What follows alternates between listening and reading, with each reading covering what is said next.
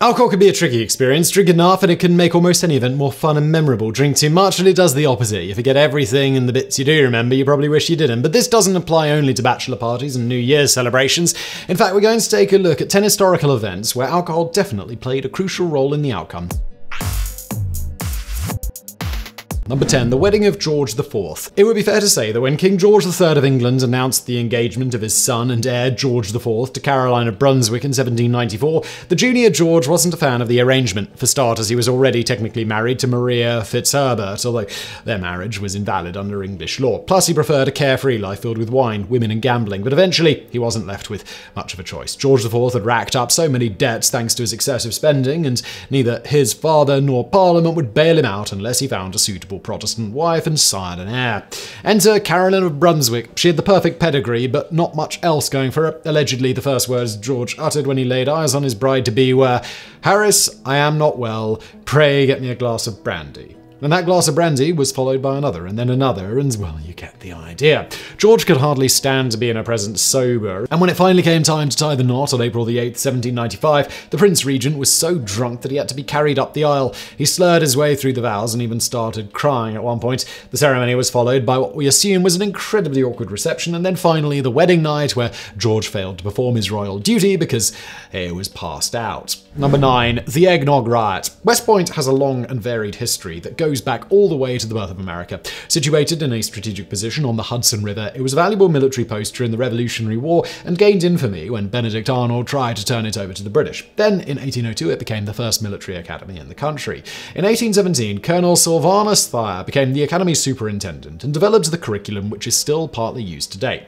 After a few years in charge, Thayer decided that discipline at West Point was on a downward slope, mainly due to drinking. Alcohol was already prohibited, but of course everybody still got drunk, and the faculty generally looked the other way unless the offence was particularly egregious. But in 1826, Thayer put his foot down and said absolutely no alcohol, not even for that year's Christmas party. Unsurprisingly, the cadets ignored him and smuggled a few gallons of whiskey into campus a few days prior. Then on Christmas Eve, they got wasted on eggnog. The rowdiness started with some loud singing. Not too bad at first, but then things turned serious when two of the Academy captains, Ethan Hitchcock and William Thornton, tried to end the party. Hitchcock literally read the riot act to a group of cadets, but instead of dispersing, they armed themselves with sticks sticks, rocks, and swords looking for a fight. One of them even fired a shot at the captain when he tried to open the door. The captains called for their superiors when they realized that the nog had hit the fan, and the drunken cadets took advantage of the opportunity by completely trashing the barracks in order to barricade the doors and windows. The following day, everyone was hungover, wondering what they'd done the night before. 90 cadets had taken part in the riot, including one Jefferson Davis, future president of the Confederacy. Ultimately, though, only 19 were court-martialed, plus the soldier who allowed them to smuggle the booze onto campus. 11 were expelled. Number 8. The Field of the Cloth of Gold. In June 1520, King Henry VIII of England and King Francis I of France held a two week long summit at Balinghem near Calais in order to strengthen the bond between the two nations. Both kings were keen to show off their wealth and opulence in front of the other one, which is why the event became known as the Field of the Cloth of Gold. There were huge feasts every day, the food was plentiful, the wine was unceasing, and the music was raucous. There was dancing, there was theatre, there was even a dragon kite made especially for the occasion that featured both royal symbols entwined with one another. And of course, there were lots of games to keep the people entertained. Jousting was the most popular spectacle, but wrestling was also a welcome sight, especially oh, when the weather turned sour. Then one day, after a few glasses of wine, Henry did the unthinkable. He broke protocol and challenged King Francis to a wrestling match. Francis accepted the challenge and met Henry inside the squared circle for a little Royal Rumble. Both kings were young lions in their mid to late 20s, but on this occasion, Francis proved to be the cream of the crop, easily going over his English counterpart. Henry, however, was gracious in defeat and suggested an archery contest for a rematch where he emerged triumphant. Number 7. Andrew Jackson's inauguration. On March 4, 1829, Andrew Jackson was inaugurated as the seventh President of the United States. After the swearing-in ceremony in front of the Capitol building, Jackson invited the crowd of roughly 21,000 onlookers to join him at the White House for an open house reception. Unfortunately, most of the crowd took him up on the offer. It wasn't long before the White House was filled to the brim with rich and poor, upper and working class who wanted to congratulate the new president. The raucousness wasn't helped by the addition of alcohol, and before you knew it, the furniture was knocked over, dishes and glass glasses were broken on the floor, and muddy footprints were everywhere. One attendee, Margaret Smith, described the scene as such. Ladies fainted, men were seen with bloody noses, and such a scene of confusion took place as it is impossible to describe. Those who got in could not get out by the door again, but had to scramble out the windows. President Jackson himself ultimately made his escape through a window and sought refuge at a nearby hotel.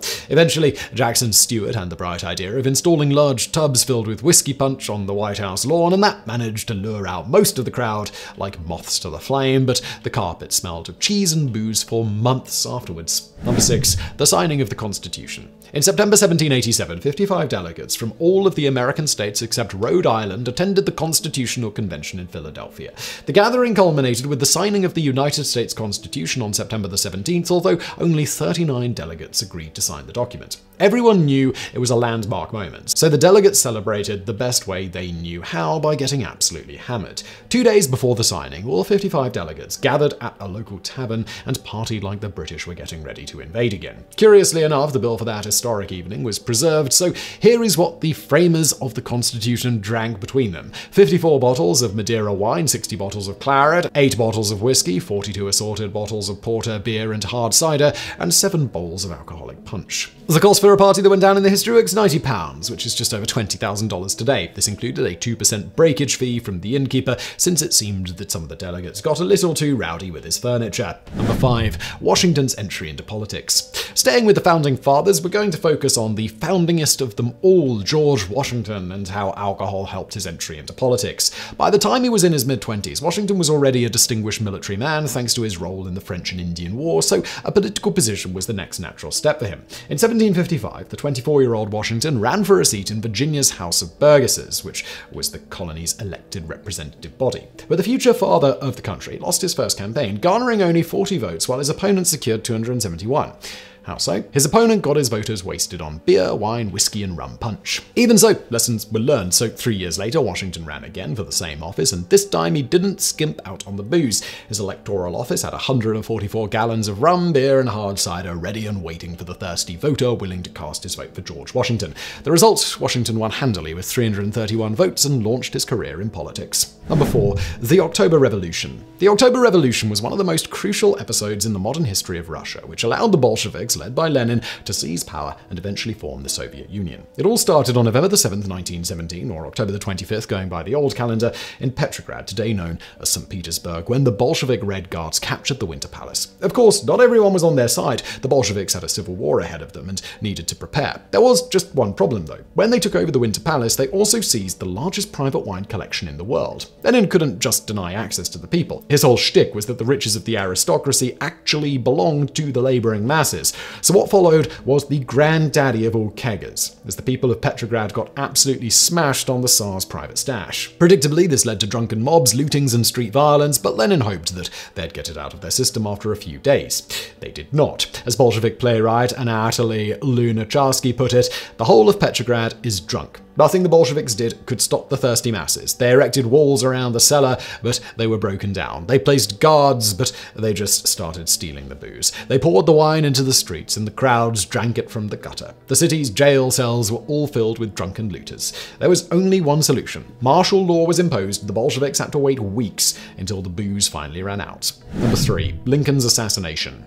The assassination of Abraham Lincoln is already an infamous moment in history, so we're not going to dwell on it too much. We're just going to look at the role that alcohol played in the proceedings. First up is John Wilkes Booth, who initially went to the saloon near Ford's Theatre and had a couple of drinks to strengthen his resolve. His confederate, George Atzerodt, who had been tasked with killing Vice President Andrew Johnson, did the same thing, except the alcohol had the opposite effect on him. Even though the Vice President was sitting all alone in his hotel room, Atzerodt couldn't bring himself to do it, so he just spent the night drunkenly roaming the city. Last but not least, we have Officer John Frederick Parker, the Washington cop who had been assigned to protect the president. If he had been present, could he have stopped Booth from killing Lincoln and changed the course of history? Well, we'll never know, because during the intermission, Parker decided to leave the president and go to the Star Saloon next door and have a couple of drinks with Lincoln's footman and carriage driver.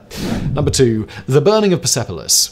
During the mid 4th century BC, Alexander the Great invaded the Achaemenid Empire and in 330 he captured the Persian city of Persepolis. When he entered the city, Persepolis was one of the greatest metropolises that the ancient world had ever known. When he left, it was nothing but smouldering ruins. The burning of Persepolis was one of Alexander's most infamous acts, but the question remains did he do it on a drunken dare? Almost all the ancient historians agreed that Alexander and his men were drunk when they burned the place down. They had celebrated their victory by looting, feasting, and of course, drinking the night away. But historian Diodorus Siculus points the finger at a woman named Thais, an Athenian who got too close to the drunken Alexander and kept prodding him throughout the festivities, telling him what an achievement it would be for him to destroy the pride of the Persians. This was the ancient equivalent of a double dog dare, so obviously Alexander was left with no choice. Only one Roman historian named Arrian claimed that Alexander was sober when he burned Persepolis, and he did it simply as revenge for what the Persians did to Athens during the Greco Persian Wars a hundred years earlier. Number one, the rise of agriculture.